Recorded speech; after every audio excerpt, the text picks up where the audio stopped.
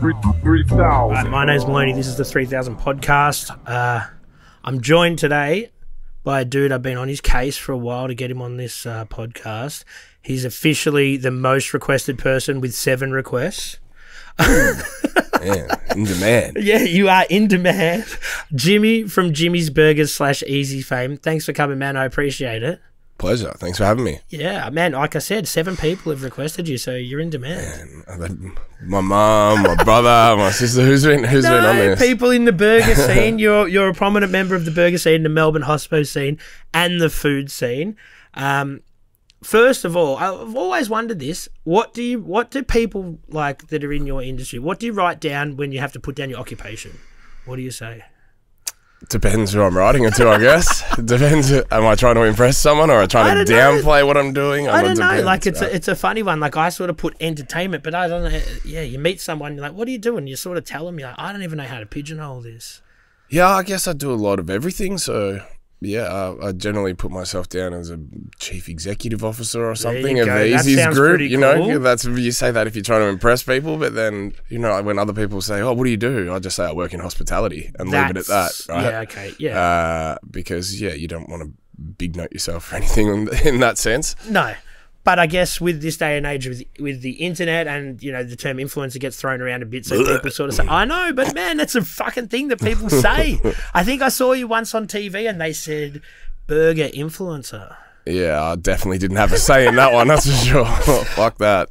All right, man. Well, let's start at the beginning. So I know you grew up in Melbourne, but whereabouts specifically did you grow up? I grew up in North Melbourne, Nice. uh, right smack bang in the city, Yep. and lived there until I was twelve. Moved to Yarraville out west, or Kingsville technically. yep. Kingsville's gone through the roof, man. Man, I wish my parents still had that place too. God, they made some. Yeah. Anyway, but yeah, I enjoyed living there. Uh, sort of, it was nice because I still went to school. I went to school in the city, so it was. Just, I went to uni high, so the same. I didn't lose that touch to the city. Yep. I'd skate at the sale yards before school and after school. Yeah. Uh, had that connection to the the real heart of the CBD Yeah, man. moved to Yarraville, so there was a little bit of that suburban thing. Um, played you know local sports out that way, but still had that solid connection to the city. Yeah, for sure. And like in the city, eh, like you went to uni high, I believe. Yes, And that's besides going to RMIT High, that's about as in the city as you can fucking get. yeah, absolutely, and it was a great school. You know, there was it was a, a lot of intelligent kids. There's a lot of kids whose parents were doctors and lawyers and architects and shit. A lot of doctors specifically because they all were doctors at Royal Melbourne or the Children's, and they all lived locally. Royal Parade's the, the medical hub. Yeah, exactly. Uh, so there was a lot of smart kids to be surrounded by, which I'm grateful for. Yep. So you, obviously you're skating in the city. I was skating in the city about the same time, sale yards and that sort of thing.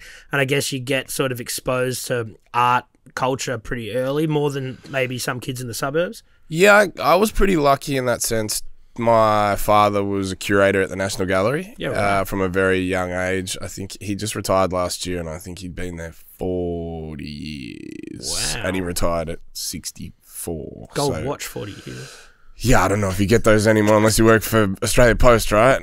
you get some diamond fancy thing. Uh, so yeah, we were, I was exposed to it very early, and living in the city and being uh, sort of exposed to the street culture of Melbourne dad kind of became somewhat. So he worked in a section of the NGV, which was called the Access Gallery years ago.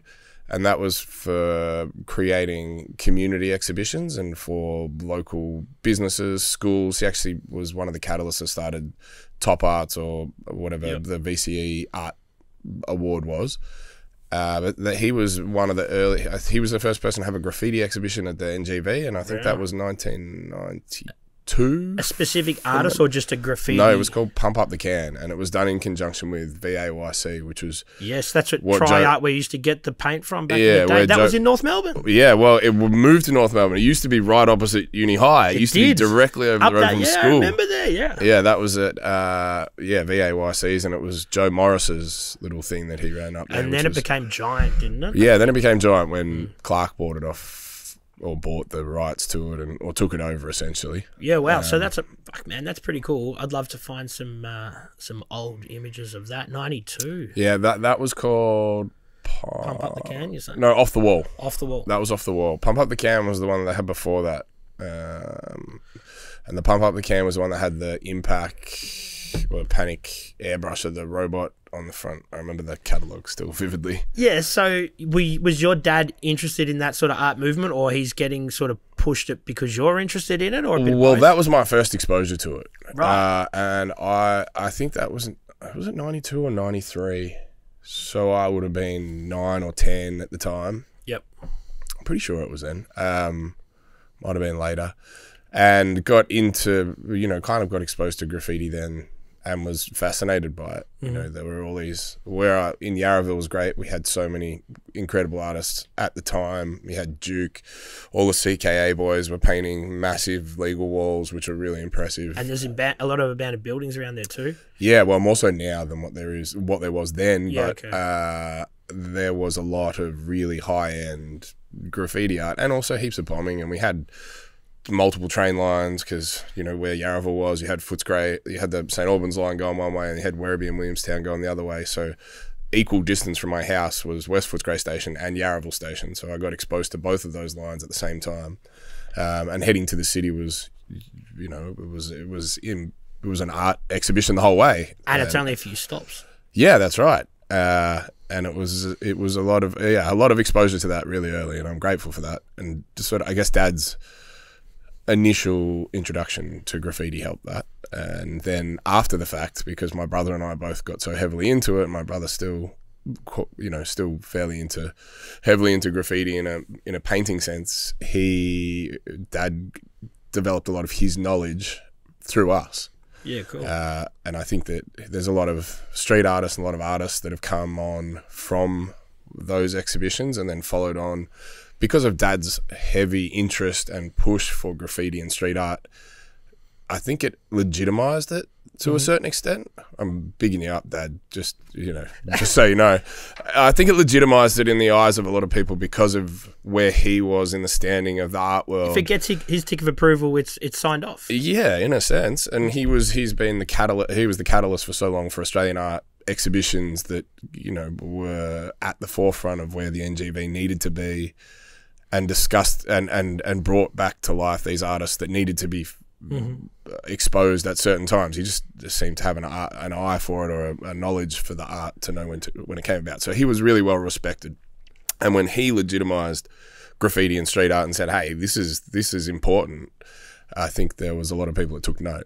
Yeah, and man, like that's definitely probably I'd have to say the first time in an art movement that the kids are going to school the parents on something like this is something that's kind of cool. You you you can't sleep on this. You know what I mean? To an extent, I guess he was already, he was already on it, and we were just like, "This is these are the guys you need to be scoping out. This is what's happening in this space at the moment. This is what's here." And then people would go to him for comment in the newspaper or Yeah, whatever. and- because he's got the credentials. Correct, because he was the guy, but he had the knowledge because he had us feeding him like legit info. Uh, so yeah, he became well respected, and artists respected him as well because he was not Was he there a- bullshitting. Was there a backlash from any of the sort of real writers that like, oh, this gallery stuff isn't isn't legit. Like we want to, we don't want to be doing that sort of stuff. Like, Yeah, there's heaps of writers that are like that, and that's cool, which I love. You know, and that's kind of.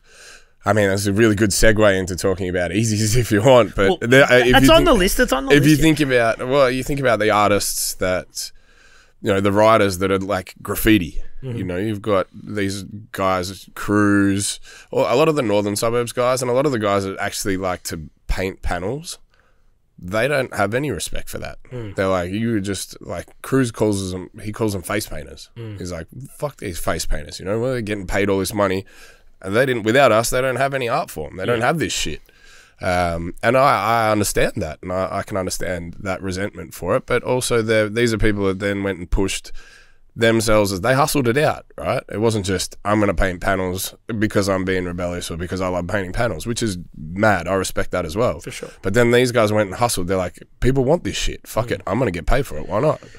Yeah, it's a funny scenario. Like the whole thing about graffiti is to you sort of create something that you don't really. Uh, you've got nothing, and you want to want to make yourself known, And then if you're going to make money from that, I think that's a natural evolution. So it's kind of, but it, I'm not in that scene enough to fucking understand. I can see how it would rub the people, the, some people the wrong way, but I can also props to people that fucking cash out and make some money out of it. Like, what are you going to do? Go work a nine to five so you can go paint panels at night all the time? Well, yeah, I guess a lot of the natural progression for a lot of those actual writers was tattoo artist or graphic designer, right? Because they already it. had the they had the vision and the the artistic flair, the creativity to be able to make these things visually appealing. So that was that was where they went to make money. Whereas these other guys were like, I don't want to stop painting. I want to get paid for doing this. And why the why the fuck shouldn't I? Everyone's paying money for it. yeah. And now what people get paid for is ridiculous. Like if you told, you know, tell some of these kids' parents when they first started painting, and their parents cracking the shits at them, what are you doing? You, you're going to go to jail. You're going to do all this. And even people like, I mean, take Mickey G and take the other, you know, other old Melbourne writers that went to jail hmm. for painting, right? Or or or had or had the stripes, stupid. Well, yeah, or had Exactly, yeah. stupid fucking hundreds of thousands of dollars of criminal damage fines you tell their parents that, hey man, your mate could be getting a quarter of a million bucks to paint a wall. Mm. Shut up. It's it's hard for some people from the outside that don't understand the, the scene to really get it. It's the same reason like kids that have a skate park, whether it's the sale yards back in the day or whether it's, you know, River Slide or whatever it's called now, but kids are still gonna go jump down fifteen stairs because that's what skateboarding is. So it's the same thing. And I think it's hard for people from the outside to understand that. They're like, go and make money, but that's not the essence of where the art form comes from. Yeah, well, I guess that's what it always comes back to tagging in my in my eyes because people are like, oh yeah, it's all good, but you know, the, when people just tag on fences and shit like that, that's that's no good. But that's where all letter form comes from. That's, it. where the art form begins. It begins in how do these letters sit together? How do I create this shape and make this look appealing? It's essentially just calligraphy. You know, people have a great deal of respect for people who do typeface and typography as graphic designers. A tag is the same shit Yeah. uh, learning to understand that is a big part of understanding graffiti and where it comes from and Well, I what think it's about. ninety percent of the people in society they don't see it. They don't understand that. They just see it. They'll go, "I like the colourful big fucking murals." You know, I like this thing. Sorry, man. I mean, I was gonna, I just don't want to burp in the microphone. okay, that's Mel- We're Mother's milk's getting me. We're on the Melbournes. We're on the Melbournes. All right. So, look, let's. Uh, a mate of mine. He, he said when I asked when I interview these people, I've got to bring up something which probably is totally off topic. But what was your first music gig that you went to? He's like, you got to ask everyone this because I think it is kind of interesting. oh man, I'm pretty lucky. My parents are fucking cool in that sense. Hey, Yeah, like nice. The one that I, the one that sticks out the like we went to lots as kids. My parents are punk rockers, and like as little little kids, Yeah, there's nice. photos of me being held by like crew with piercings everywhere, mohawks and shit like that. But the one that I remember most vividly was was at the Public Bar, which is now Last Chance Rock and Roll, Mm-hmm. and I would have been in grade three, I guess, which makes me eight or nine. And it was Nick Cave and Tex Perkins were playing an acoustic set. It was just the two of them. And it's a small. That's a small venue too. It was on a Wednesday night, but there was literally one other person my mum, my dad, me, and my little brother who was in Pusher at the time. And they just played for us. And then afterwards, I went up. I was like, hey, can I get your autograph? And Nick Cave wrote, To James, never go to bed, Nick Cave. I still have it. and it's like the most, the greatest piece of advice I ever took. And I was like, I didn't sleep anyway, so it's fine. um, but yeah, it was like a Wednesday night or Tuesday night, school night and everything. And it was- Amazing. yeah. So that was, that's the one I remember the most. Um, and it, that place is still kicking, but that dude's got, I think, a big hand into trying to keep the tote alive. Yeah, yeah. So Shane and Leanne, I think it is Shane and Leanne. Uh, they've they've worked really hard on the possible campaign to try and save the tote. Uh, I'm not sure how successful they'll be in the end because it's a business and the people who own it are business people. Uh, Yeah. and and the uh, lovely, soft, warm, fuzzy, intrinsic elements of possible campaigns and the the music world doesn't necessarily translate to the real business world. That's it. I think it's a it's a funny scenario with a lot of these fucking places. Once they're gone, they're gone, and I think people don't really understand that. Like, if once they're gone, that's never coming back. Whether it's the license point of view from a music license or a, an alcohol license, and man, in St Kilda, especially in around Chapel Street, we've seen some of these three AM licenses disappear, and they're never ever coming back. So once that's gone, it's fucking it's gone. So I think it's sad, and hopefully shit like that people can get behind them. You know. I think that look, yeah, they may not save it in their current endeavors, but I don't think it's lost to everyone, even if it does get sold. Well, fuck yeah. I know there are a lot of people involved that are like artsy people and music people that are involved in potential developments of that area as well. Um, so I, I'm hopeful that even if it does get sold, it remains in good hands and it's not not a shit show. Yeah, it'd be sad. It'd be sad, man. And that's pretty close to where your venue is now. Yeah, real close. Real close. Real close. We always I used to play pub footy for the Birmingham and the Rochester back in the days, and then it was the Workers Club Lions team, and we just had this constant saying, and it was "fuck the tote." Because we used to have to play against the tote in pub footy, so And I still it- have that in the back of my head every time someone's like, "Oh yeah, do you reckon they're gonna say fuck the tote?" You know, I can't help myself. They would have got some good ring-ins, I can imagine, when it came to pub footy, though. Yeah, yeah, that always, look that pub footy's so much fun. Yeah. Uh, uh, if anyone hasn't given it a shot, go and give it a shot if you like playing footy or like football. Have you got an Easey's team? No, no. Uh, I. It's a lot of work, and it takes a lot to put that on. And that pub league takes a lot, and a lot of people's generosity to get it going. And I think that uh, it's a great, it's a great thing. Uh, it's changed a lot, and I think it's far more inclusive than what it used to be. So I Yeah. think there's a lot more opportunity for for females, for whoever. You know, it's inclusive to every single person. Yeah. And that's something that's pretty iconically Melbourne. I couldn't see a pub footy league happening in many other cities. You know what I mean? No, I wonder if Sydney. Has, I feel like Sydney should have a pub rugby, touch rugby league. They probably do. They probably do. That's true. They've got good pubs in Sydney. I'll They do have good pubs, man. Fuck Sydney, but they've got good pubs. No, they do. They've got. It's just such Cracker a different, pubs. It's just such a different scene. Sydney's just a different place. Like from the whole pub scene, it's just it's just so different. Like Yeah, Melbourne is its own thing. Whether it comes to like you know bands that play at venues, DJs that play at venues, or just even entertainment at venues in general, and the way the pubs are run, it's just so different in Sydney to Melbourne. Here it's more independent. There it's much more big groups and that Yeah. sort of thing, which obviously is happening a bit in Melbourne, but we're trying our best to fucking to push past that. Yeah, yeah. There's not many good pubs left. There's my pub in North Melbourne. There's your just- pub, Yeah, the? Limerick, the Limerick Castle Hotel. That's my safe space. That's your- it's yeah. one of those pubs that still has old blokes that live upstairs. Yeah. Carpet. Carpet. That's the first thing I was going to say. You need carpet. carpet is at the heart of a pub. If you take the carpet out of your pub, you have a bar. Mm. You no longer have a pub. You have a bar. Yeah. all the acoustics are gone. The carpet, I've said this before, I'll say it many times. The carpet is the keeper of all the secrets and the teller of no lies. There you go. It sits there and absorbs everything. Every last bit of vomit, every last bit of drink, every last. Even the cigarette everything. butts back in the day. My God. And even, yeah. Um, so let's talk about your career, if we're going to call it that now. start- I like no, how you put that in I- I inverted don't know, commas, 'cause you career. just do Sure, your thing. yeah, yeah, no, yeah. no. So okay, so you started off not doing hospo. You you studied, Yeah. and you were a practicing solicitor, I believe. Nah, I didn't get there. You didn't get there. Nah, I didn't get But there. you were prac- you were studying to do. Yeah, nearly nearly finished. Nearly became a solicitor, and then decided that that wasn't a world that I wanted to live in. Uh, as much as I still had friends in the industry and friends that still are in the industry, uh, a lot have left, but it was not an environment I saw myself working in. I think the prime example was, you know, I was working. I managed to work at some really big firms, so I got a taste of what it might have, you know, the eventual space might have been like, and seeing how the partners live if you ever stuck it out and got to that point. And it was extremely judgmental and very backwards. And I found that it was really uh, a lot of it didn't represent what I stood for. There was a lot of misappropriation of people's funds and time and stuff like that, which I just I couldn't stomach. And no room to be creative. You know what I mean? Absolutely none at all. So Um, you know, like, and that's the thing. White collar people are. Uh, that's not my kind of thing. It's not my kind of job. But you know, they do their thing.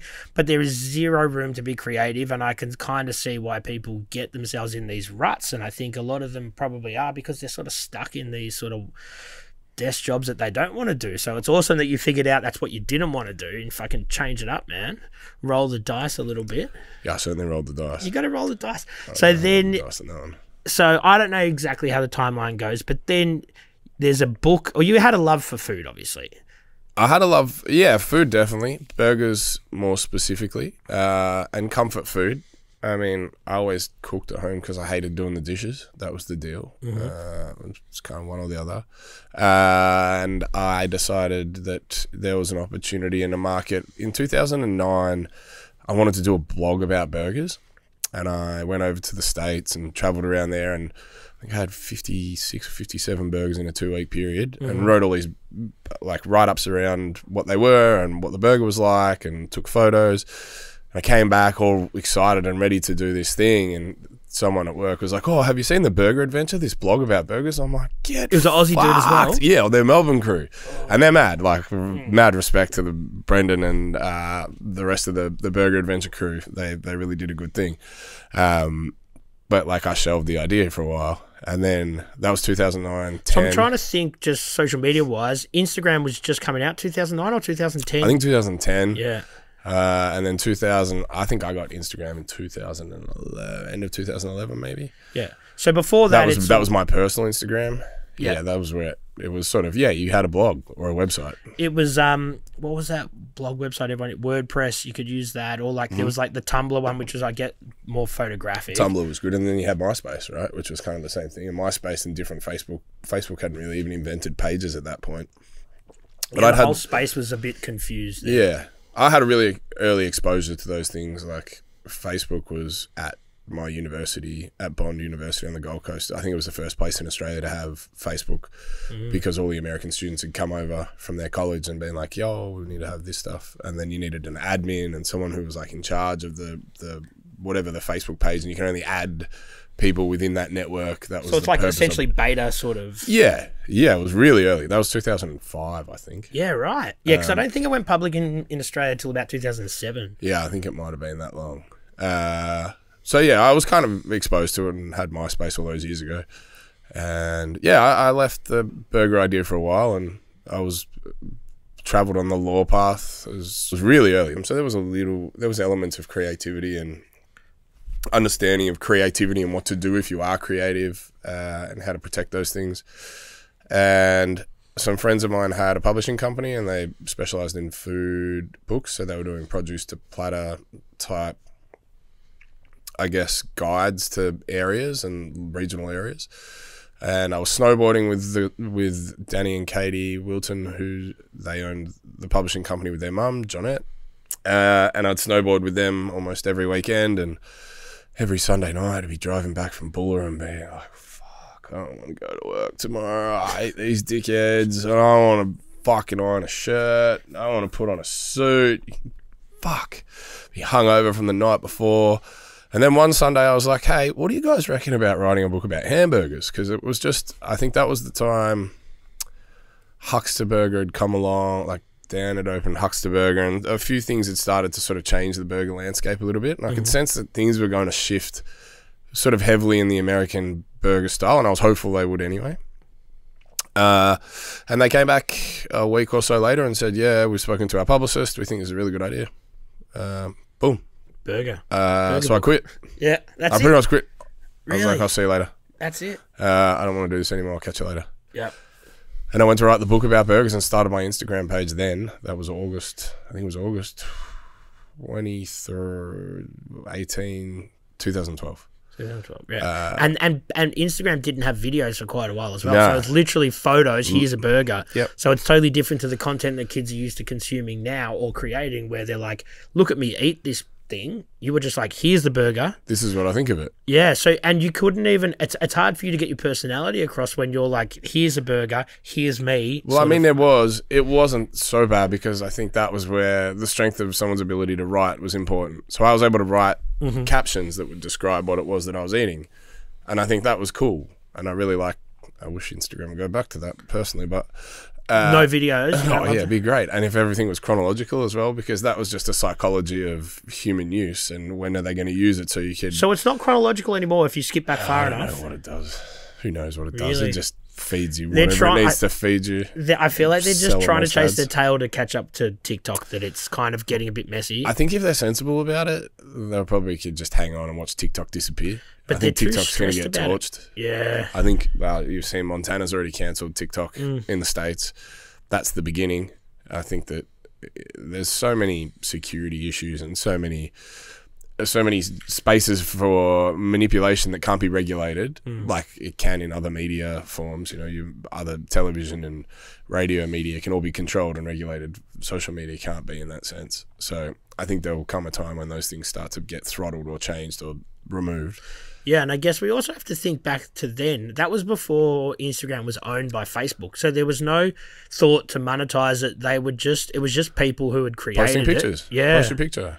That's it. and it's funny now because this this fucking platform dropped off, and I think it's because Instagram strangled them. But they got videos because of Vine. Remember Vine had those mm-hmm. like six second or 13 mm-hmm. second videos, Yep. and that's why Instagram applied videos, or they brought them in. I'm pretty sure. Yep. And that killed Vine, and then Instagram continued, and now you look at some people's pages, and all it is is videos. The actual There's- photography. I yeah. I've spoken to Facebook and they said there's no point posting imagery unless it's in a carousel or even a number of images in a video. right. They're like, there's just no, it was a waste of your time. Okay. Because the algorithm is just going to push that to the bottom. You need this. Okay. Yeah.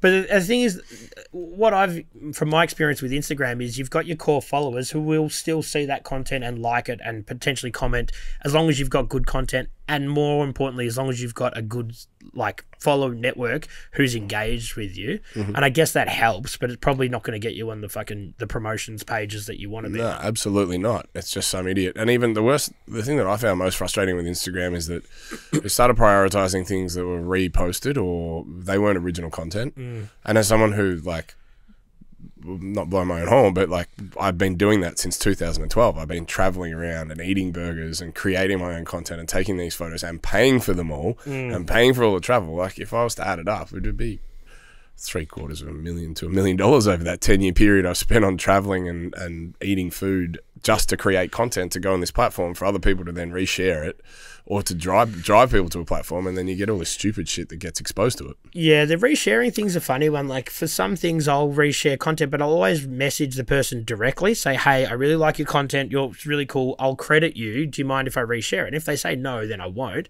But most of the time, people are cool and they say yes. Yeah, I'm normally like that. Yeah. But when they don't ask you, fuck 'em, man. That's pretty. This is And they don't tag you, it's even worse. Well, that's that's just not on. But they should always credit you. But that's the thing with Instagram. There's no recourse. Yeah, but but people can build like big accounts with a lot of followers with zero original content without tagging anybody, and that's just what they do. Mm-hmm. Because once it's out there on the internet, it fucking belongs to nobody, mm-hmm. and that's when it kind of lost me. Like I, I meet people, they're like, "Oh, this person's got an Instagram account with hundred thousand followers," I'm like, "But all they do is repost memes. Mm. Like that's not. There's nothing like. What do you sit on 4chan or fucking Reddit and just find something cool and post it to the other people? That's not creating content. That's just regurgitating content. Absolutely.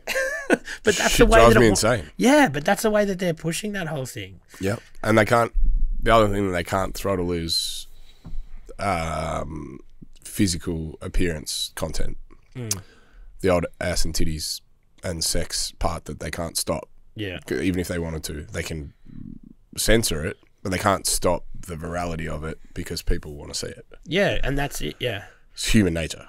I, it's I hard, like with your algorithms, and you see some boobs and you stop and you're like, I can't stop there. I've got to keep scrolling because that'll fuck my algorithm up. Yeah. I mean, look, mine's mine's literally just golden retrievers now. You golden retrievers and burgers. There you go. So with the whole burger thing, you've got your yeah, spot. No, well, there's, There's one. on the one. left there. There's always a a couple. There's always a couple. Keep Um, it real. All right, so man, I'm thinking back now, probably 2012, 2013. That's probably where I reckon I first met you at a burger burger gig uh, slash strip joint type scenario where uh, you were doing your burger blog. Oh, was that boobs and burgers? Yeah, it was one of the f- early ones. So I was DJing there before I even started emceeing there.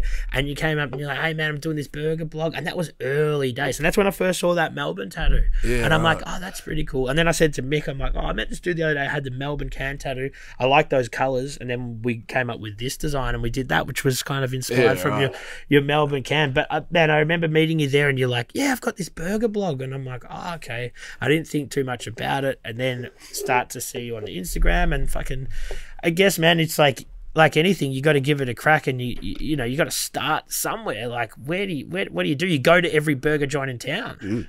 That's really what I was doing. I was Even trying to be the first were- person to go to all the places. You know, someone's just open. I wanted to be the first to get there. Yeah, uh, and I wanted to cover as much territory as I could. And I guess it helped because I'd already done. The, so the deal with the book was that it was going to be a guide to burgers in Victoria. So that was co- the co- coincidental timing of starting the Instagram and the book was me going to check out all these places so I could then post instantly on Instagram and try and build this following or reputation on Instagram so that eventually it would cross over, right? Is there a guidebook at this point? Is there anyone who's doing a similar thing somewhere else you can look at, or are you going, this is just fucking something I'm having a crack at?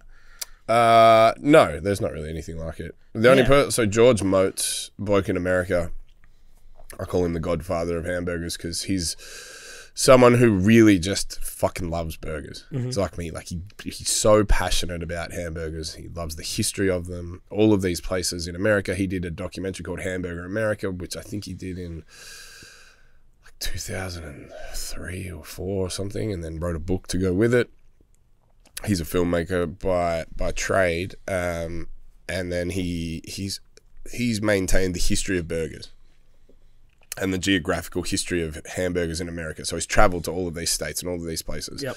He only recently so there's a show called The Burger Show hosted by Alvin Cailan, uh, who's a chef in the, in the US, and he started with a place in New York, Amboy, and then opened a burger place in LA, and then has Eggslut, which is the other it started in the um, central yeah central markets in LA.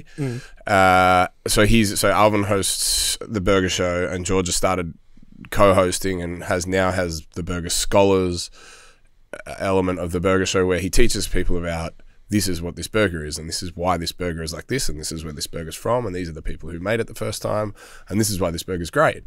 Uh, so there was uh, I forget where I was going with that. but you just, I said, is there someone who you could sort of map this out? Yeah, so there's not really there's not really anyone that's done it. Uh, certainly not here. Yeah. And then George, so Georgia started doing that with Alvin, and then they they built that in the US. There are other people that do it in different countries and different geographic regions. Now they'd be everywhere, but back then it's a yeah. different story. Well, back then I was, you know, I was one of the first to do it on Instagram. Uh, there was a, there's another guy who was the CEO of Max Hamburgers in Sweden, Richard Bergfors. He does burger spotting.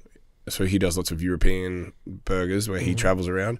And now there's lots of people that have come up in the UK. There was heaps, Tom's Big Eats and a few others that have done it on social media and in, in the UK. My friend Kate Ovens, she started eating really big meals and became like one of those professional eater people. And now she just travels the world. She was just at Monaco Grand Prix playing poker against Neymar and beat him and shit like that. Like, From just eating big meals. yeah, yeah, just being Right. being uh, an attractive attractive person that eats stupid amounts of food. That always helps with the whole social media thing, doesn't it? Oh, if yeah. you're good looking, like you can sort of get away with a little bit more, and people are going to stop for your content and all that sort of thing. Absolutely. Um, so I think this is like with Instagram, and obviously now we all understand this a bit more. But in 2012, 2013, building a brand isn't really as a thing like it is now. But I guess you know you've got to build the brand, Yeah. and now everyone talks about building a brand. But essentially, you were doing that. You're building your own brand. Um, was that a conscious thing, or you're just like I'm going to do the blog thing, and then whether this brings me into another territory of building my personal brand? It was definitely a conscious thing. You did, so you knew that's yeah. Yeah. Where it was going to take me, I didn't know because it was an unknown media at the time. Uh, and I think I'm grateful ha- for having done it the way that I did because then once the book was out, sold the book and started working on Easey's. So it was that timeline went from August 2012, completed writing the book in July 2013. By the time it came back from the printers, it was December 2013. February 2014, we started working on Easey's uh, and through that period, and then up until you know, we opened Easey's the first of May 2015. when you say it could sorry to correct like just to jump in but you say Easey's because that's where it is but is this just a concept that isn't you don't have a location yet or you knew that's No, no, it came the other way around. I always said that I didn't want to open a burger place because I've been so critical and judgmental about other people's joints. Right. I'm like, this is just fraught with okay danger. so it came the, so you had the location and you had to make it work there sort of thing Well, that that came after the fact. okay Uh, so yeah, I always swore I'd never open a burger place because I'd been critical of people and probably unfairly in some instances, and certainly knowing what I know but now, you're a what food I said critic was so that's your fucking job man. Yeah, but also having an understanding of what it takes to operate a hospitality venue now, and and for Keep some the of the quality control some of the criticisms I probably made of people were probably unfair and unjust, and I'm I'm happy to admit that. So I made a conscious decision when I started working on Easey's that I would stop being critical to a certain extent and try and be positive about people's venues because you know at the end of the day it might be someone's mortgage they've mortgaged their house so that they can open this place, and I've gone in there and said, "No, this place is just no no good." Blah blah blah. Yeah. And then no one ever goes there, and they close down and they lose their house. Right? Can you imagine the yeah, consciousness? shit. like that's a horrible a horrible outcome so yeah i was i started to become far more conscious of what my words and not to be arrogant in any way but like They hold weight, there yeah. well it did at the time and there mm. was enough there was enough people following me to, to for that to have an impact on someone's business far better to use that for a positive impact right Yeah. uh, so yeah, I, I, I always swore I'd never do a burger place. It was never. Uh, I was too dangerous. People were just going to be like, "Fuck this guy. He's a scumbag. He did X, Y, and Z." So I swore I'd never do it. And then this opportunity came up February. So it was an old rider, prowler, rider and MC. RDC. RDC, bro. I had the old Rock RDC City. book back in the day. Remember that book? Yeah. What Yeah. a good album too. That first that first album they brought out was fucking unreal. Um, and yeah, Prowler and the architects Zvi Belling from ITN. So they just completed the Hive, which is in Carlton, behind where Capitano's is. Used to be the Beaufort. Uh, also one of the first places I went to, and Dave Kerr wrote about me in Broadsheet because I went there the day that they opened, and that was like the the first day I'd quit. That was the first the night that I'd quit law to go and write this book. And I told Dave about it at the time, and he wrote about me in Broadsheet. So cheers, Dave Kerr. Thanks. Dangerous DK. Um, but yeah, they had a building called the Hive that was right behind where the Beaufort was, and they just completed. So it was a concrete building, graffiti inspired, rooms and shit with arrows, and the windows are arrows, and like it's a whole big space that's dedicated to graffiti. The next iteration in this series of buildings that they were planning to do was Easey's, or the end to end building, uh, as Which it still says on the side there, the intent. Yeah, so that's that's what the building was designed as. and yeah, Prowler said, "Look, we're doing this. Do you guys want to put a bar in the train?" And originally, like I was, I'd finished the book, and I'm like, uh, seem it seems silly not to try and weigh in on this burger thing. Like it's still massive. People are still, you know, still fucking with burgers pretty hard maybe we should try and put a burger place in here. And originally we talked about putting a kitchen outside the train, like upstairs, and So just they having a train carriage. They had it set to go with the three carriages on Nothing was like the building wasn't finished, but the trains and the concept was up. Yeah. And it was like, all right, what do you want to do in here? Yeah, right. They'd already commenced the liquor license process, and it turns out that that was to take another fifteen months or something from when we mm. started, and the the the concept grew and grew and grew. Originally, someone else was going to run a downstairs area as a separate cafe. They pulled out. I think fuck, um, and then it just grew from there, and. So that was yeah, from February 2014 we started working hard on, it. and then in the end, I mean there were a lot of things that we went through. Builders that were building the building fucked us over. I'm I'm happy to say that, and took What, a bunch of cash and just said mid-build? yeah, and then just bailed on the fucking fit out. Didn't even get certificate of occupancy, so I had to get other people in to finish off the job. Uh, they took a bunch of cash and bid off it, but we got other people in to complete the job and we made it the way we wanted to make it with some you know there was some input from the arch- the architect was very protective of the way that the inside of the building looked which is strange because he made it so complicated for us to fucking do anything in uh, and we built like the concrete slab above so the kitchen's on the third floor and the concrete slab above the kitchen was so thick we couldn't put a hole in it to put the exhaust out there and it had to go out the side. He didn't want anything going above the trains and a whole bunch of shit right? Nightmare cost heaps more than what we thought. Uh, and we finally got it open. Oh, there were so many objections at the time.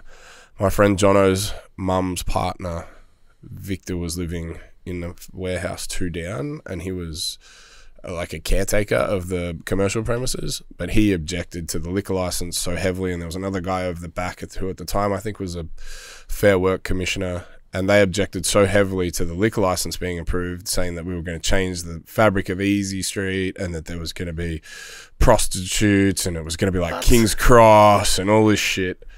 Like to the point where, uh, and bless Victor, I'm still really good mates with his partner's son. Um, but like he hand wrote like 40 pages of shit and just they just made everything so hard and cost us so much more money uh, and But when you break it down, though, you We've never had a noise complaint there. Yeah, There's never been any fucking problems. No one's ever done anything. I mean, one per someone jumped up and fucking. I'm pretty sure it was Nost- Noston Pork jump up and fucking did the rooftop and the glass, and then the guy who owned that building came in and said we had to pay to clean it. I'm like, fuck out of here, man! Look at every single building in Every Fitzroy and. Collingwood at a time. They're fucking on everyone. How's that our fault? Yeah. Uh, and then it got worse because the guy got up to clean it. Part of the pressure hose cracked one of the windows. And everything just like everything became a nightmare. But every look, okay, let's break it down. If you don't have train carriages on the fucking roof, you're going to have a rooftop bar, which is going to be reasonably open air. Well, it wasn't. It was originally supposed to just be offices. That's why it was. That's why there was a big issue. But you're on. You're right next to Smith Street that- there. Like, well, I mean, the OG planning permit was for, for offices, so that's why there was a there was a kick up of, of a fuss because of that.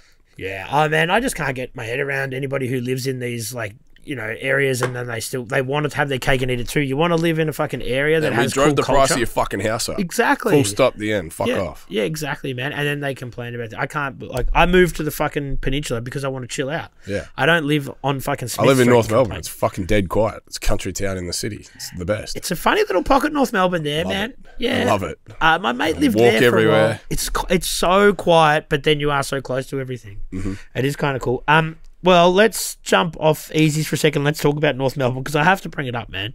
You are a Kangas fan, Yeah. die-hard Kangas fan. I saw you at the game, Mate, I don't. I don't miss many games. Mate. It must be many. tough though. Yeah, yeah, but I'm also lucky enough to have grown up in the '90s and watched two premierships and one that we should have beaten Adelaide. That was a disaster. Uh, we coughed that one up.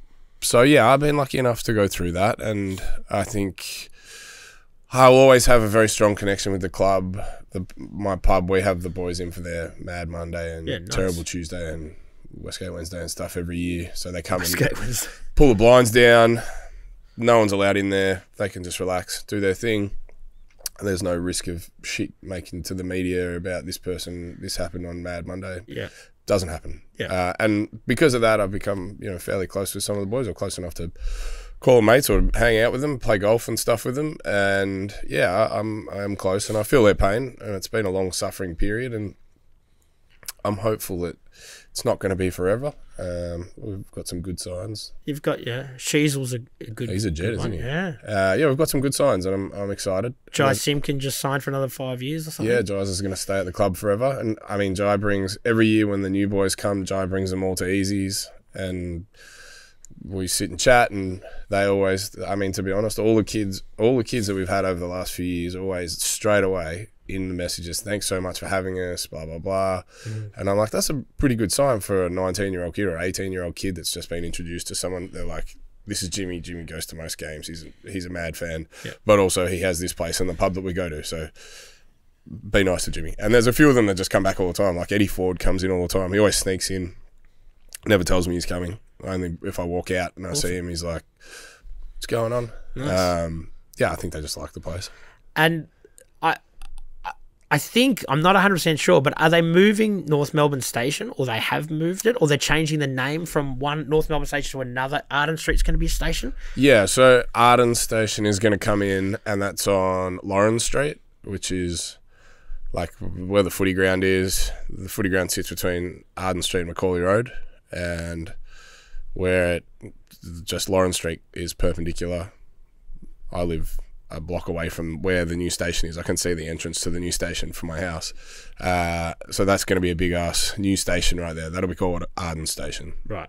I'm not sure if they're changing the name of the other one to West Melbourne or if it's staying North. That was yeah, something like that. They were moving North Melbourne, and then West Melbourne was going to become North Melbourne, or something like that. No, I think they're changing North Melbourne Station to West Melbourne Station, Oh, okay. and that'll become Arden Station. And then they're oh. developing that whole area and putting extra grounds and all kinds of stuff. There is a whole lot of space in there that it was just sort yeah, it was of nothing. It was just train nothing. yards. Yeah, yeah, and and Oh, that's yards. cool. Yeah. I feel like that shit's been going on for like five years. It'd be cool when it's done. Well, the the station's a fair way along. Like you can see when you drive past, you can see like a big entrance dome. And Will you be there with your Myki card? Fucking first one on the. Look, I can't remember if I've bought a ticket or when I last bought a ticket. Been a long fucking time, I'll tell you what. Uh, I am a massive train nerd, and I didn't often pay to catch them. That's good, man. That's Only in Sydney because they're fucking savage up there. The the Met Cops, or they don't call them Met Cops. Man, you know I- The Gumbies. the Gumby. I The was Gumbies. that's exactly what I was about to say. I think that's such an iconically Melbourne thing because they obviously wore green and people. Yeah, the Gumbies. Everyone used to be like, "Watch out for the Gumbies," and that's something that they wouldn't say anywhere else. Mate, I remember catching the 57 and there was like still a conductor on there. You get on and buy a ticket, short trip, and they yeah, punch the, the hole short in it. trip. There was the the, the old two stops or two seconds. the old W class ones, and they had the conductor that would sit there. But if you got on the back door, they because they would sit at the front, Yeah. so you could jump on. or the other way around, depending on the on the 57 because it was I think that was W class. Nah, they were the old Rattler ones that they still no, use today with the a City Rattler. Circle. but yeah, and they had that sit up in their seat and Sit- yeah, gone. That's it, man. Um, I love those trams, and look, man, trams are so fucking iconically Melbourne, and Trams were always free. That's what I tell everyone. And now now they are actually free if you go in the city. Anyone who came from interstate, I was always like, catch a tram. A tram's free. Yeah, uh, anyone who's coming from another country or another city and they're buying a ticket is kidding themselves. Like, what are they gonna? Where are they gonna They're send you a you up. fine to? Yeah. um. All right. So let, let's uh, go back to the graffiti sort of. Obviously, you've got a, tr- a fucking venue with trains on the roof. You're going to attract a lot of graffiti dudes. People want to paint your trains. How do you fucking police who gets to paint what? How what? Like, because obviously the place is bombed inside. But like, how do you police who does what, or do you, is it open slather? So inside the train carriage, where the walls are white, people don't tag there. And if you do, it's only little fuckheads that tag in there that have no respect or no idea what the fuck they're doing. Yeah. That will tag in there, and I fucking hate it. Like if I catch them, I What if they slap a sticker? Stickers fine. I don't care about stickers. I can just peel it off. Yeah. Okay. In the stairs, whatever you want. Yeah. Cool. Do whatever you want. Just no paint while we're open because you stink the whole fucking joint out and people mm-hmm. won't enjoy their meals, right? When it comes to painting outside the trains, you either had to have painted a shit ton of trains in your country if you're not from Melbourne or your city, or you had to have painted a Hitachi train in service and had it run. Otherwise, I won't let you paint it. really? So I never painted them. I did run ups and all kinds of shit on, but I never actually painted a Hitachi. So I've never painted it. Right. I've never even painted my own train. Yeah. Uh, so I'm very strict about that. That's cool. Uh, so do you get dudes just rock up with a backpack? Like, hey man, we're just gonna paint this. You're like, nah, it's not gonna happen. Nah, not so much anymore. But like, we I still, we get a lot of messages, and a lot of people ask, and I feel bad because there are some people that are fucking phenomenal artists that I'd love to have paint it. Um, but I just, I've got a pretty strict rule. I mean, we've had some pretty fucking serious Yeah, the people One Up paint it, crew? right? One up, they never painted the train like I. I thought they did. no, they wanted to paint. They wanted to paint the outside. They've done like throw ups and done tags and shit in there. They wanted to paint the other side, like the outside, outside, uh, and showed up. One of them's like, "Yeah, I've got like a rigging license and blah blah blah. Can we paint?" I'm like, "Nah, bro." Abseil down the As soon as you jump over the edge, the council will be here. There'll be some dickhead in the other street that takes a photo of you and sends it to the council. I'll be here in five minutes, and you'll get shut down. I don't want a half finished piece on it, right? Um, but we've had like like Felipe Pantone, Sofles, Fat Joe. I painted it with Fat Joe, the rapper, one time. Fat Joe. Yeah, Ben Simmons painted it with I saw uh, Ben with Simmons, Ling, with Maddie Ling. Um, What did Felipe Pantone do? Because obviously well, he. Felipe Felipe did a pant, yeah. a pant piece, and then Fat Joe and I cap. Fat Joe did a chrome floater over the top of the pant. Has I'll Fat Joe can- got any style? Fat Joe's a bomber. He's Tats crew from New York. Man. Oh really? He's bad, Oh, there you go. but he didn't hurt. He's like, man, can you do these? Can you do these bubbles? Can you do this outline? Oh, he was just Fuck, it was so funny. he came. He came one time to do. I interviewed him for Complex. Yeah. And then I went to his show that night, and he's like, "Yo," he got me on stage. This was he dropped lean back for the first time on stage, and he got me on stage. Be like, "Yo, you got to go check out my boy Jimmy's joint. He's got subway cars on the roof, blah blah blah." That's And then afterwards, after the show, he's like, "Man, you gotta let me get on one of them trains." Uh, and I was doing a cheeseburger eating comp the next day. We were right, like right at the end of it, and he just walked in to this cheeseburger eating. I'm like, "Hey, everyone, special guest, Fat Joe." It was fucking bizarre, man. And then we went and painted it and sat up there, and he told the best. He had the best yarns, man. really. My God, did he have some yarns? Yeah, I think it's funny because Fat Joe has been around hip hop for a long time and people know him from more of that commercial club stuff now, but he was like DITC and all that Yeah. sort of stuff Well, back that's in how- the day. Like, So yeah. that's how I. When he came, I'd already I'd just been in New York with a friend of mine and uh, Delta from Adelaide. Mhm. And my mate Luke and I were there and we were filming Delta and a whole bunch of shit around hip hop in, in New York and specifically DITC because Lord Finesse and Delta were real tight. Really? Uh, Show and AG and Delta are real tight. And um, man, I went and ate burgers with Lord Finesse and he told us a story about how he signed Big L.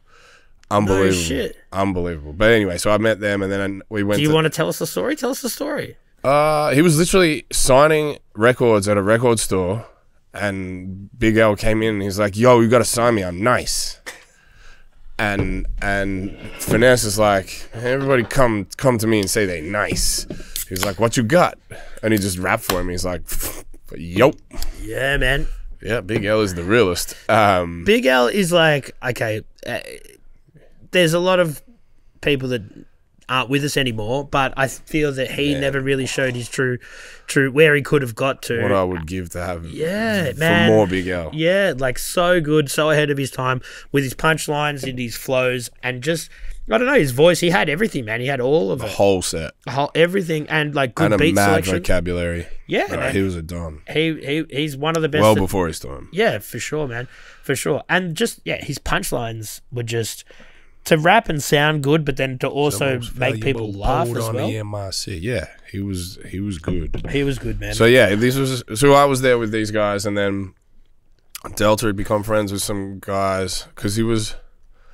Who was he living? I think he was living in Harlem, maybe at the time. Delta he'd been- was. but he'd been in the Bronx for a while, and he'd already done stuff with Kool. Anyway, so we get there, we go to this show in the East Village Uh, because there was another guy, Dave, who played in a group called Dugius, and we went to go watch them play. And actually, Zvi, the architect from Easey's, was there this night as well. Coincidentally. Uh, yeah, because he'd played a show because he plays in the Public Afro Opinion Orchestra, but he was doing something else in, in New York at the time.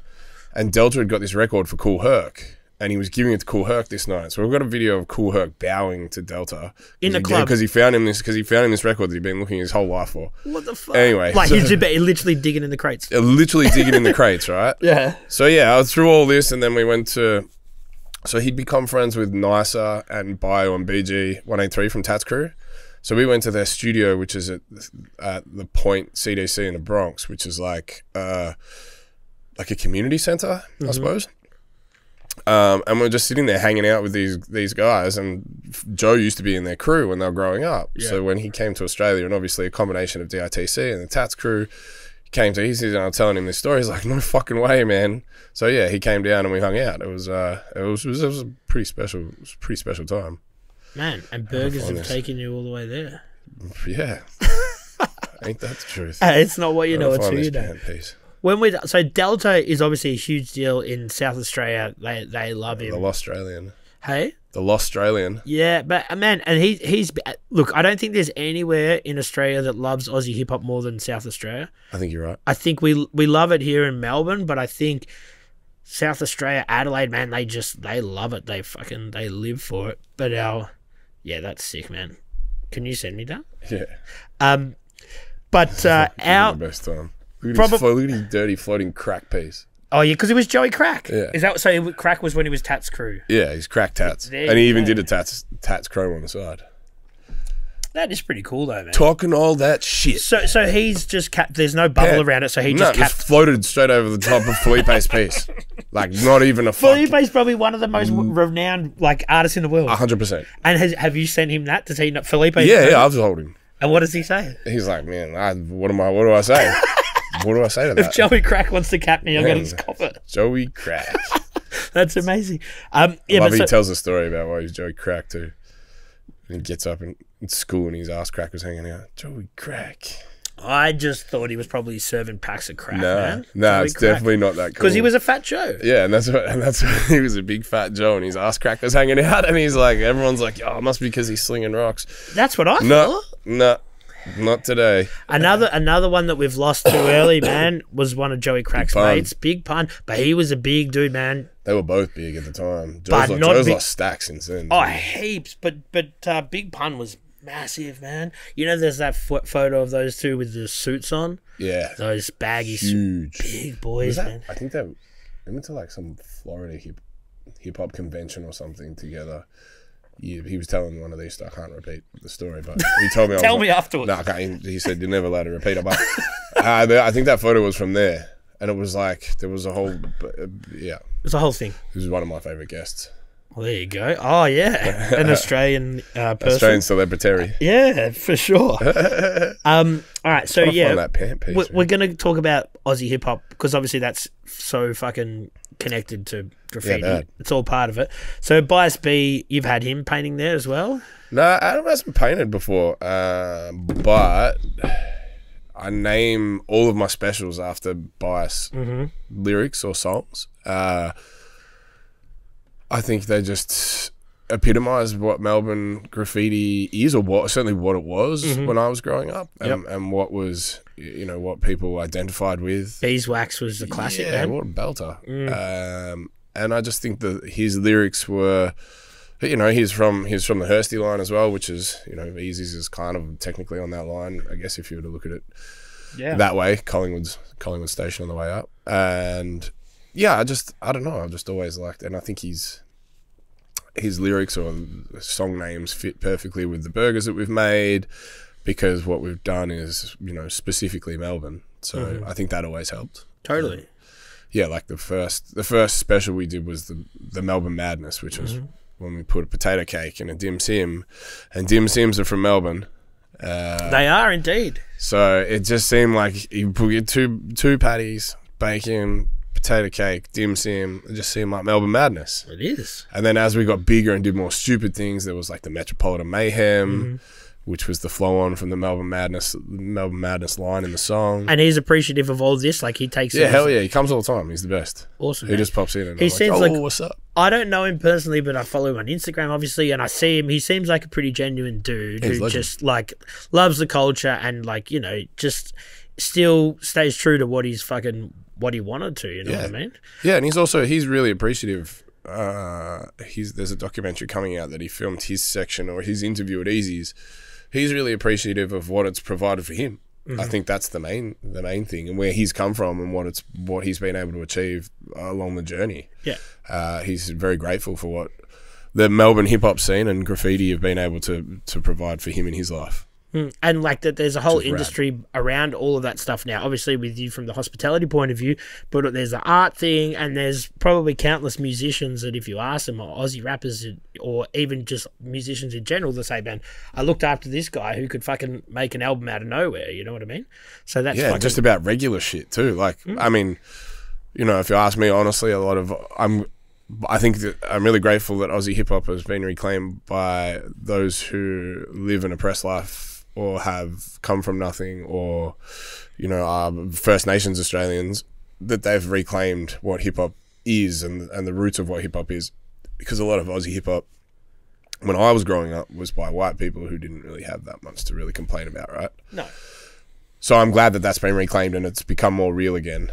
You know, the the rapping about graffiti and smoking bongs and shit kind of gets a bit tiresome. It does, but, But at the time, it was poignant to me, and it was poignant to the culture that it was that it had formed within within hip hop in in Australia as as like a if you were to take a direct correlation between the the US East West Coast rap and Melbourne rap, it was what was relevant to those people at the time, but not really substantial, if that makes sense. it's well, uh, yeah. Look, there's there's two sides to the coin. I think personally, hip hop is about being who you are, being true to yourself. So when dudes are like, "I'm out here fucking shooting dudes," like you're not. If you're in the park smoking bongs with your mates and chucking a few tags, well, rap about that. You know what I mean? So I think that there's two. Mm-hmm. Yeah, it's that like- expression. but like that, uh, I mean, that's not. I don't know. I, I feel like songwriting requires a little bit more soul or a little bit more substance to it, right? Totally, uh, but I just think that you right when Bias came along and he's talking about painting trains and hanging out on the Hursty line. I think a lot of it connected with a lot of people because they're like, we're listening to this American hip hop, but when But this Big- is relevant to this me. This is relevant to me because we hang out at the train station. Like we're not on the corner with Big L watching out to get shot. Yeah. we're hanging out at the train station where someone might steal your fucking Jordans. Right? Yeah. That's a, that's about Yeah, as, as scary as it gets. Absolutely. So it does make sense. But what you're saying is extremely valid. Like, it's supposed to be for people that ha- have some sort of oppressed culture or, uh, Look, I don't think it's supposed to be, No, but I think that's where that's where its historical roots are. So Totally. that it's important that that doesn't get lost, and that it doesn't just become a cash grab for this rich kid because he's, you know what I mean? in the in the 2000 and late 2000s early 2010s uh, especially what was commercial with aussie hip hop was very sort of middle class white kids Look, and that's what kind of which i sort of am right but i Right. yeah Yeah, I wasn't. I mean, we weren't rich, but I wasn't poor no per se. Um, but I think you know, the Hilltop Hoods man- managed to take it from being an underground music form in this country to being more of a mainstream commercial radio type uh, music. But don't forget, they'd been doing it for fucking yeah 15 years or whatever before they got played on Nova. yeah i remember You know, like they struck like 2000 i think i saw them at the corner Yeah. and then like nosebleed section or That whatever that was it left foot right No, foot that was the call- the the call was that the calling. calling that was the one that really set them off Yeah. the calling, and then all of a sudden it was fucking here we go. Yeah, Mm. Yeah. and but like they'd still been grinding away Forever, forever, and they, you know, they've been underground for a long time. So yeah, credit where credit's due. But then it was interesting because you know I'd go to work, and someone's like, "Oh yeah, you listen to hip hop? Have you heard of Hilltop Hoods?" I'm like, "Come on, man." The wor- the worst is when Come someone on." says, "I don't like Aussie hip hop, but I like the Hilltop Hoods." You're like, that doesn't make any sense. Like that's someone who's listened to fucking Triple M too much. Do you know what I mean? "Yeah, yeah." I don't know if they absolutely. played on Triple M, but I'm just thinking someone who's been Probably played on Gold 104 these days. Fuck.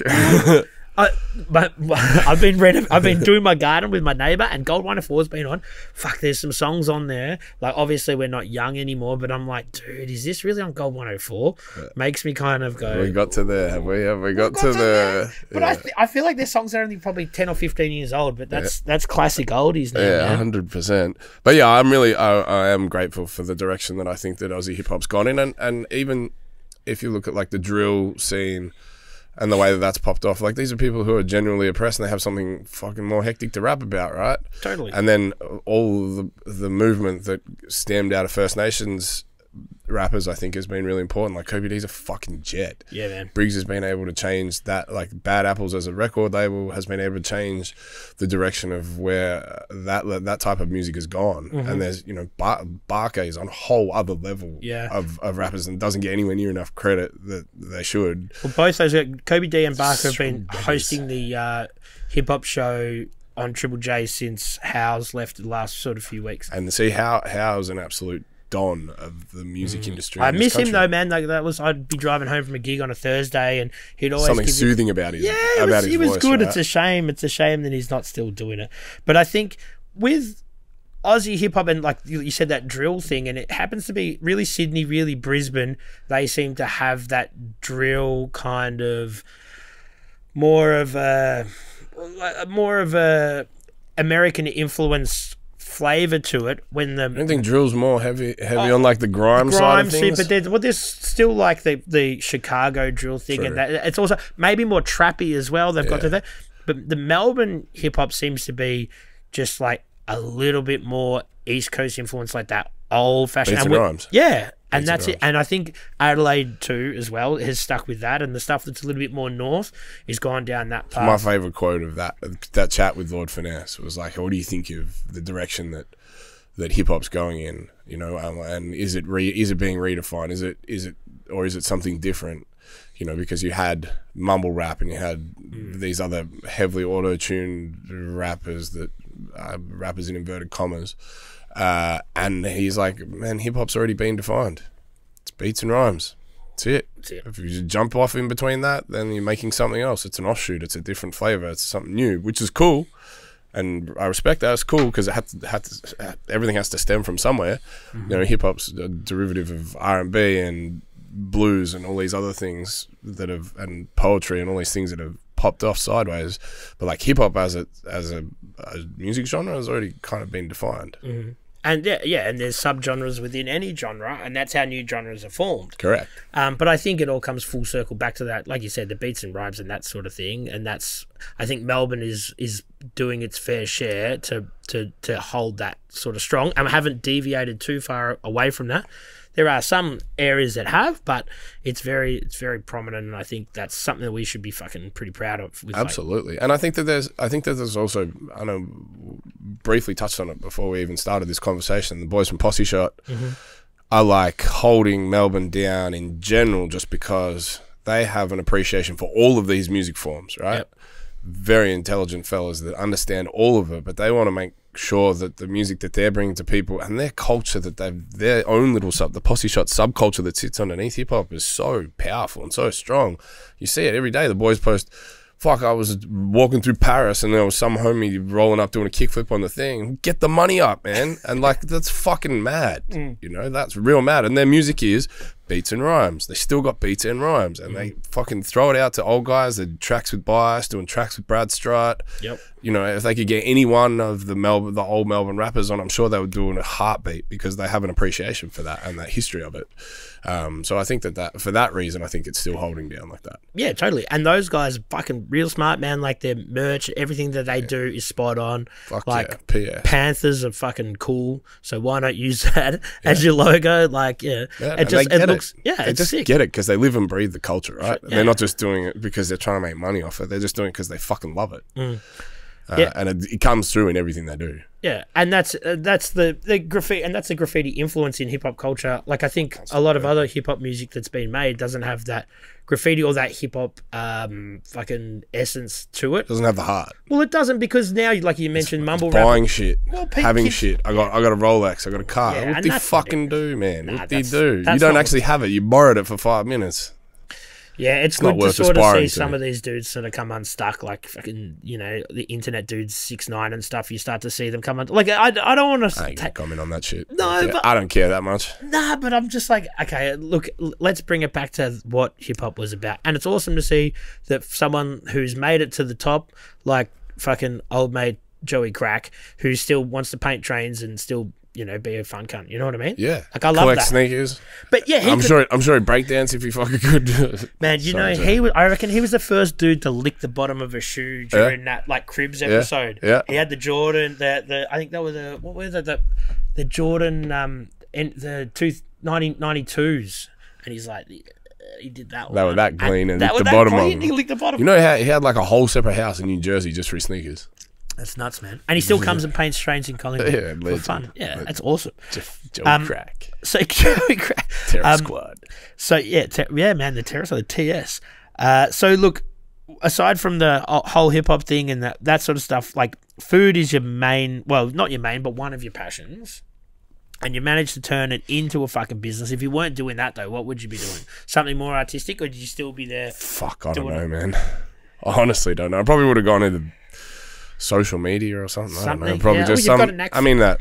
I mean digital marketing or something like that. I, I do have a dream of becoming a sports presenter at some point in the future. I'd love to do sports broadcasting and commentary and stuff like that because I follow almost every sport Yeah. fairly closely and What would you want to do? AFL? Or you'd want to do Well, I- basketball? I think I'd like to be somewhere in between. Yeah. Uh, I have I know most American sports back to front, Mhm. and I think that there's certainly somewhat of a need for that in this country, and someone to broadcast it in the right manner or to be able to comment on it in the right way that stands up in other markets. Uh, certainly AFL. You know, I've watched probably every game of AFL that's been recorded for the last thirty years Yeah. uh, from start to finish, and some of them multiple times. So I, I have an understanding of those things, and I, I understand the, the analytics and the tactics behind all those things. So I'd like to do that, but probably digital marketing of some sort. I think would probably be where I'd be. I don't know. Some, it seems so not fun or sexy to talk about digital marketing like that, even though it's like what the world has become. Well, yeah, it's like we were kind of at that age when we're in our 20s when it sort of comes along. So we got pretty well versed in it. Like people a bit older were like, oh man, let's just leave this social media behind. And people a bit younger have always had it. So I think we kind of had to like adapt or not. From that space of before computers. Yeah. or like computers were a thing, but almost a thing. And like, well, I mean, I was saying before that I wasn't poor, but like, I didn't have gaming consoles as a kid. Like, you can forget about that. So all these things, I go to my mate's house, or you'd borrow it from the video store to play video games. Video you stores. borrow it on a Friday night, so you could have it until Sunday, and you stay up the whole fucking weekend playing NBA jams. Just Try flat out, just Yeah. stay awake all fucking night, two nights in a row, um, and then have to take it back. Yeah. But yeah, so I like having grown up and then into computers, and I was a big, I, I was an early adapter of computers because I'm a bit of a nerd when it comes to that stuff. So probably hence why the social media thing came quite naturally to me. But now it's just gone this video stuff and TikTok. I'm finding kind of difficult to keep up with because it's so short. There's fucking nothing in it. There's no substance to what's being made. Can I make the stupidest thing? Can I just like what is it even about? How do I maintain this person's attention? And realistically, back to Lord Finesse, if it doesn't slap you in the face in the first six to eight seconds, it's not hot. Mm-hmm. He was talking about music. What Yeah. he meant to, what he, you could easily apply that to essentially fucking people's attention spans in general now. Any topic, any anything at all. If it doesn't smack you in the face straight away, it's not hot. And that's why some hip hop music can work as opposed to music before its time because you can start with a hook, which you couldn't do that with a rock and roll song. So you could start too. with a hook, you could start with a scratch, you could start with somebody telling you a little bit of a story, which Mm-hmm. with more traditional music before that, you'd have to build Yeah, into movie that. sample or some shit. Something like That's that, the yes. beginning- beginning something, something that's. I realized yesterday, you know, there's a fucking TV channel called the Wu Collection, the Wu Tang Collection. I was just flicking through and I said the Wu Tang. It's all like Shaolin videos and shit like that. I was like, damn, this is So a new when we- favorite. back when we were young uh, on MTV or Channel V or whatever it was, they had it was called Fo Kung Fo, and it was like we didn't have cable TV. we had yeah, it was like MTV or one of those. Ch- Channel V was the Aussie one, and it was called Kung Fu, and it was all the samples from because Enter the Thirty they Chamber, yeah, from- and they would use that, and it was kind of that sort of with uh, Monkey Magic type stuff where they would have Monkey Magic get cancelled now for sure. yeah, for sure. 100% But that was that, easy. and they would kind of like have fight scenes, and then they would sort of use bits that they would, and then they'd kind of have people. Ra- yeah, it was like a thing. It's been around for ages, but uh, yeah, Yeah, now it's like a free to air channel on the TV. it's I'm an like, actual channel. yeah, dude, I was just. I had to take a photo of it last night because I was in shock. There's, a, you know, you go through the normal channels, and then you go to the rest of the channels. There's some Oh, bizarre. there's like some seven thousand channel seven thousand something. there's you know Kill Look. Army that where they dudes just like neck themselves. Wu Tang Collection TV. Yeah, that's bizarre. Bro. Mission Kiss and Kill. Fuck yeah. Um, yeah, there's yeah, there's way too many TV channels, but that's also when we were kids, you didn't have the access to go and find what you wanted to at your fingertips. So if you liked hip hop music, you had to go find it. Where where I remember, like you mentioned the Salyards earlier. I remember being at the Salyards probably like '96. It might have been like year seven or something. Um, and there's a dude playing records and just hip hop and like unless you had an older brother or unless there was no any way to hear this stuff like Mm-hmm. you couldn't go to a nightclub to hear it because you weren't old enough Also, they didn't play it there either. But, yeah well there it was wasn't no, played in nightclubs. there was yeah, I know, You go to a skate shop, and that was about the only spot you hear people playing a, a tape or like I think C- obviously CDs came out in. but the, you but you didn't have 30 bucks to go buy a 92, CD and you're not going to risk No. your whole fucking you know allowance or whatever however you got money No, on some you- on but if you go to the record store, you can rack that shit. Yeah, but like you had that for for thirty bucks, you weren't going to go buy something. You, you mm. know, you'd buy secondhand CDs of someone you listened to it with their Discman, so you knew that you liked it. Four dollars sixty seven or four dollars sixty five, whatever I was making at Macca's wasn't buying me a CD see, anytime. So I'm not doing a whole shift just to get one CD. But that's the thing, and I think kids these days don't. Oh, sound like a fucking old man. But We like, are. I just don't think that they understand how much effort and But think about even before us, like how, how hard it was for our parents to get totally people would share records, Yeah. and that's the thing. And that's but now, if you like something, you just type in how do I do this? How do I find this? And it's right there. Like there's never been a better time for somebody in any cr- creative capacity to just fucking figure out what they want to do and just do it. Yeah. So Yeah, no it's one that should be you, you can actually do whatever you want thing is like a legit thing. It's a thing. now. Yeah. Yeah, before you need to have like known someone to get there or done this to get there or whatever. But now you just need to fucking know what you want to do. Want to do, and that's uh, like. This and even then, you could probably just ask ChatGPT or someone and be like, "What the fuck should I do, man? I like this, this, this, and this, and this. What should I fucking do?" this AI thing is pretty scary. It's terrifying. Yeah, and I really don't like it, but it's not going away, so I think we've got to kind of fucking deal with it. I think it goes off in a big bang, right? Things are something's got to give, man. Like it can't keep. It's got. It's changing so I've seen quickly. it. I watched The Matrix already, man. I know what happens. I know what. happens. I know what happens. It's the best documentary ever made. Um, all right, so as most dudes, when you get to your late thirties, your friends go, "Fuck, man, you got to come play golf." I get told all the time, "Got to go play golf," but I don't want to go play. golf. Did anyone tell you you wanted to play golf, or you decided? Kind of. A, I mean, I'm a sport kid, right? So you I just wanted to play- You've always played sport. golf? I always played sport. Well, I played golf, but like not seriously played golf. I uh, I liked it. I played. My grandma used to play with me. Uh, she turned 92 the other day. Uh, 92. And, anyway, she took me until I was like six or seven. I beat her, and she's like, "I'm not taking you anymore. You can get fucked." um, and then I kind of we used to play a bit, and I lived in North Melbourne, and Royal Park was really close, so we play after school or whatever, but never really that seriously. And kind of coming up to COVID, I'm like, "Fuck, can't play footy." Can't play cricket. I need a, another way to find some way to exercise or trick myself into exercising snowboard still. I was playing basketball still then, and I fucking suck at basketball. So I'm like, oh, maybe I'll just start playing golf more. Yeah. Uh, and then COVID hit, and I couldn't understand why we couldn't play golf because It you're in a park with your own fucking clubs, as far away from your mates as possible, unless you're all fucking freaks and you hit the ball in the same spot. You're miles away from them. Uh, so yeah, and then after COVID, I started taking it more seriously.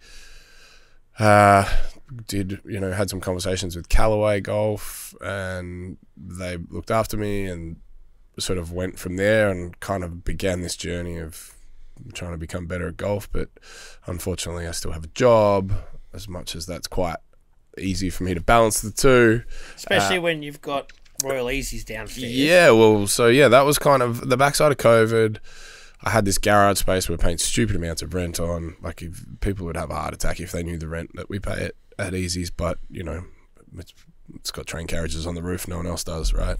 So, line from Happy Gilmore, you know what else would draw a crowd? A golf with an arm growing out of his ass. um, so we've kind of got a, an arm growing out of our ass on the roof, uh, and we had this wasted space. So I decided to put the simulator in there and create a private room where people could come and practice, and it's like the full high tech shit from the same as ones I have at Drummond by a full swing, the one that Tiger Woods had in his house, um, and just a private room for crew to come and watch sports, hang out, practice your golf, or have a round of golf with your mates. Now it's winter time; it's really good. It's dark and it's wet, uh, and eat burgers and have people serve you. Is it improving your game?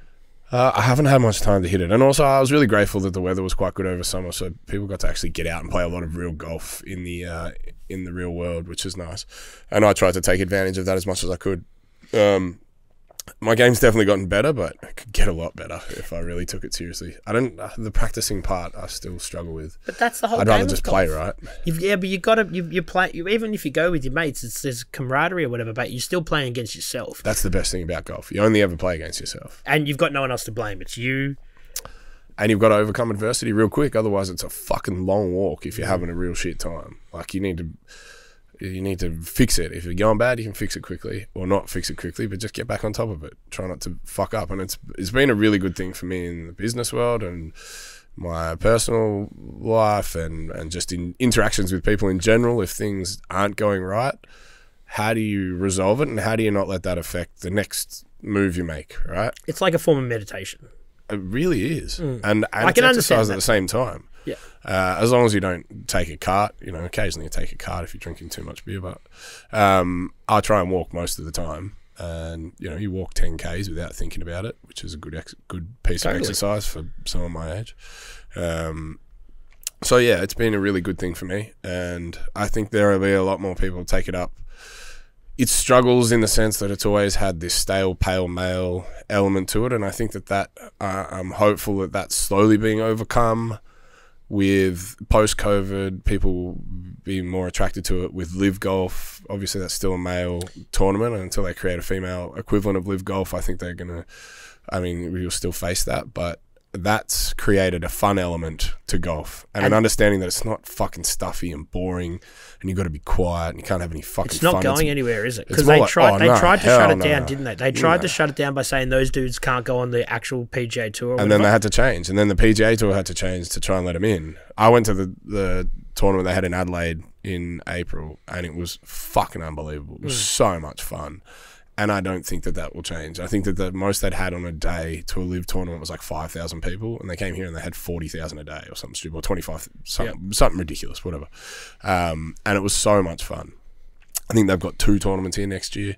Like it's just going to get bigger and bigger and bigger, and I think hopefully they can create a female version of it to make it more inclusive and have more of an more of a, an uptake. But we're lucky in Australia; we've got some really, really great young female golfers, and they're really great advocates for the sport. Um, And it's golf's a sport where I think males and females have been treated pretty equally for a long time. As a, a lot. Uh, as opposed to some other sports, mm, not really. not as much. No, No, not really. I'm, I Well, I know mean- fuck all about golf, but I just know that there's Well- always been the men's and the women's. I think that'll change soon because a lot of the the professional women are getting stronger and they can hit the ball further. So, as it currently exists, the women's tees are often closer to the hole than the men's tees.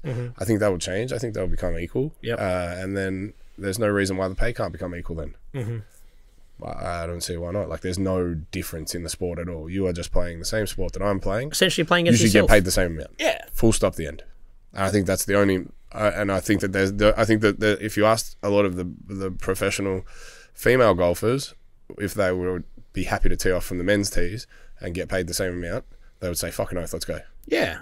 um, so yeah I, I think that that's a it's it's moving that way and i'm hopeful that a, li- a female live tournament and i think there's a there's a local tournament called the Players Series where the women and the men play together in Australia, which I think is really good, and they play for the same prize money. Like they, the winner is the winner of the tournament, not the men's winner or the women's Yeah. winner. It's the winner. Well, I think when there's no sort of physical, you know, people arm wrestling each other and they're just teeing off, why can't they just all do Yeah, it? absolutely. You don't need any gender boundaries with that sort of thing. No, I don't think so. And, and then if people are transgender or whatever, that there's no question of which one they're in. They're just in the tournament. Well, that's right. Then it, then that removes that argument completely. exactly. becomes an ultimate inclusive sport when it's been the most you know exclusive sport for so long it has the opportunity to become the most inclusive sport of all of them Turn it around. yeah Um, absolutely now I've got to ask a really hard hitting question, man. go on Is there a such thing as a chicken burger? fuck no I was I was real bummed that my mate was going to record it the other day. I had some Americans that I bumped into at the at the footy. They're like, I don't know what the f-. we started talking about burgers, and they're like, I don't know what the fuck's wrong with you people. You can't have a chicken burger. They're like, we call them chicken sandwiches in America because the burger part is the beef. I'm like, oh my god, if I had fucking the video camera then, I Yeah. would have been able to not have this conversation with people ever again. I'll tell you why. The hamburger or the hamburger sandwich, which is what a burger is, mm-hmm. is an abbreviation of hamburger sandwich. The mm-hmm. hamburger part comes from the people of Hamburg in Germany who moved to New York. It was the closest port between Germany and America. And when they got to America, they started making Hamburg steaks, which is a derivative of a steak tartare. Steak tartare was brought to Germany by the Tatars, the Russians, and they got it from the Mongolians, and it was essentially ground beef and raw beef. It was a steak tartare. Then obviously Americans are lazy, put it in a couple of pieces of bread, and we'll call it a, a hamburger sandwich. Mm-hmm. So if it doesn't have beef in it, it's just a different type of sandwich. It has to have the hamburger part for it to be a, a burger. Hamburger sandwich abbreviated to burger. Put chicken in there. You've taken the hamburger part out. It's a chicken sandwich. No longer a hamburger sandwich. Chicken sandwich. Chicken sandwich. That's it. I think people get confused because they say it's a burger bun. If it's in a It's burger just a bun, roll. they think, It's a oh, bread roll. okay, so we're not calling it a burger bun; it's a bread roll. It's a roll. It's a roll. Or bread or whatever. Okay, or bread. Whatever the fuck So you want to what call it. Or a bun. a f- what about a faux meat sandwich? Is that a burger? well, technically it's a salad sandwich. But Salad sandwich. it's impo- They called it impossible for a reason. It's impossible for it to be a burger. No. But you've got that on the on the menu at Easey's. Yeah, we've got those things, and we look. I think we're very conscious of people's dietary changes and what they choose to eat. And you know, I, when we first opened Easey's, I just wanted one cheeseburger on the menu with fucking nothing else, and it would have been great because you never have to do anything else. It's a cheeseburger, chips, potato cake. But when you look when you look at uh, like In-N-Out Burger, super simple, everything's there. Like that model seems to work for them. I think a lot of people have tried to do that same sort of thing, and they keep it really simple. Is that something that I you think, it's. I I I think that that can work, and I don't see. I think you'll see a lot of menus in a lot of venues start to get stripped back over the next little while, and that acro- that applies across the board, because there's only so many things you can do well in the one place. Um, obviously, there are derivatives of different meals where you can make different changes, where you're just adding a different, you know, like Indian, you add a different gravy to the same the same um, stuff that you've got with it. I think when it comes to menus from fine dining all the way down to casual, they'll get stripped back. I think you'll find McDonald's starts to get stripped back moving forwards. You know, I, I was shocked the other day. I went to Hungry Jack's and I got whatever their fucking angry whopper thing was and chicken sandwich. It was like thirty something bucks. Mm. You could go to Easey's and get the same shit for thirty bucks. And I always thought that we were like, we use premium ingredients, not this fucking shit. Yeah. Uh, so yeah, I was shocked at that. Um, and McDonald's is heading that way too. Like, what's a double quarter pounder now? Like eleven dollars, ten ninety five or something. See, McDonald's had that sort of really stripped back menu, and that's why it was good, and that's why I think their franchises or the way that they managed to roll out so many because they kept the menu simple. Mm-hmm. Now they've got more stores than ever, and they've got more fucking things on the menu than ever. So it kind of goes counterintuitive to what what made it work in the first place. Absolutely, and it was to sell time and r- real estate for them as But, a uh, business. It was real estate purchases, and which would be interesting to see how that goes with Dan Andrews' new uh, land tax and payroll taxes, because if they own lots and lots and lots of properties. And their investment properties, and then they have to pay all this extra payroll tax. Is that going to affect them, or are they going to find a loophole to get the fuck out of it? I'm sure they've got their fucking. But if I mean, what happens? What happens then? Do they strip it back? Do they lose stores? McDonald's not in the business. They don't often like closing stores. In fact, that's like their least favorite thing in the world. They do. don't, man. But when you think about it in like the CBD and stuff, there's plenty of shops like stores there that have closed down. Like there, a few of them have stayed, but there was more on Bourke Street that have gone. Oh, the There underground. The two. one- There was the underground, and then there was the other one up. Up was two top, opposite each other. opposite Grady Union or whatever Yeah, the yeah, exactly. used to be. Yeah, there was a few that were around there, and then they. But they moved that one. Now they've got the one opposite Hungry Jack's on that corner. So they just moved that across the road. So I, I do. I love the way that you are a, a burger aficionado, but you still go to Hungry Jack's and Macca's Yeah, What- to do your research, or just because. Nah, just because I love the fucking double quarter pounder. I don't go to Hungry Jack's very often. I'll be honest. Their chicken sandwich is not bad. Um, their new one that they've got is pretty good. But like the double quarter pounder, steam bun, cheeseburger onions, that's as that's for me. That's like spot on. What? So, but okay. Aside from the big fucking takeaway places, where's the best besides Easey's? Obviously, where's the best burger or chicken sandwich in Melbourne? There's fucking heaps out there now. It's But great. yeah, well, you got to pick one. Oh, no, I don't. I don't have to pick any. I get to drive around and go and check check them all out all the time. Well, what's one of you? What's I love what's the I love the chicken sandwich. At, actually, I like the chicken sandwich at St. Berg's, and I like the chi- the Duchess at Royal Stacks. Those are probably two of my favorite chicken sandwiches. Yep. Uh, the guys at 300 Grams are doing really good burgers. Um, there's a lot popping up now that have like, like uh, Simon, who's got fuck mental blank what his burger's called. They were at the Reverence or whatever that Westwood or whatever that. Oh yeah, yeah. Simo, yeah, Goldie Yeah. Boy. Goldie Boy, that was on. He's So one of the guys that messaged me, man. Well, he's OG, Jimmy. right? Yeah, Simo's a good dude. Actually, I did uh, years ago. I did a burger ring with him because he used to have a, a jewelry company called Rust and Regret. Rust and regret, yeah. So I did a burger ring with Yeah. him. Like Simo and Nico, his brother. yeah, Yeah. Uh, so yeah, I, he was his burgers are good. Yeah, they're good, Um, man. He's like smash patty, just simplified patties, it, yeah. right? Um, trying to think. There's, I mean, So there's he's, I so think he's at the right? Croxton now. Oh, not the No, he was at Shop Kickers. Shop and I I think he's got his own spot popping up. Yeah, no, he's a good dude. He's a good legend. dude. We love. But Simo. yeah, there's lots. Uh, I'm really grateful there's lots out there. And I always said that, fuck, in my dream world, every corner had a great burger on it because I'd never have to think about where I was going for lunch. I wouldn't have to drive around. I'd just be like, oh, I'll go to this one, go to the next corner, go to the next corner. I tell you, man. I, It's I- gone that way with sandwich joints and delis now. They're fucking everywhere. Well, but everything goes through a fad with like food, man. Like I think the, the Vietnamese thing, like obviously it's amazing food, but that went through a real fucking where that Vietnamese joints were opening up everywhere. Things go through sort of fads. I don't know. Burgers have managed to hold on. There was a Mexican thing that everywhere had another fucking, you know. Yeah, I think burgers have always been that thing. I always said that when everyone's like, "Oh, do you think this fad's gonna last?" I'm like, "Well, it's not really a fad. Like burgers have been and burger places have been around for fucking ever. Look at Andrews. That's exactly what I was about to say. at look at Danny's. Yeah. you know these were Andrews has been there since the Second World War. Man, that's where I grew up in this area. years? Yeah.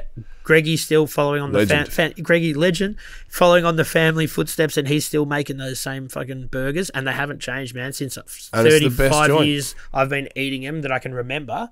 Not changed. Not changed. They did. They started to add more on the menu, and I think I We used to have one in there. They used to do the Jimmy Burger where they Did they? uh, jalapenos and hot sauce on it with bacon. Yeah, that's uh, crazy for them, man. That's a bit out. That was early, and then they started adding a few others. They, I think they added the American and a few other things. But like just going in there on a Saturday night or a Friday night, it's fucking unbelievable. It's, Amazing, it's like its own little show. Own thing. People are spinning around and smashing the onions in, turning like everything's about it. And the other big Greg who who worked there for uh, I'm not sure if he's still there. He might be. I haven't been for a minute. But like the fact that he was able to fit in that kitchen with all these other people pumping out so many burgers is impressive as fuck. yeah, and so that that's the thing when people say, "Is this a fad?" That's No. been there for forever, right? 1940. It says 45 on the front. I think it was two years before that. When he's And it's the it same his uncle that started. Uh, Greg's uncle, I think. Yeah, uncle. and then his family, and I'm pretty sure that his sister's husband now works there. Well, the whole Yep. it's a whole family business. Yeah.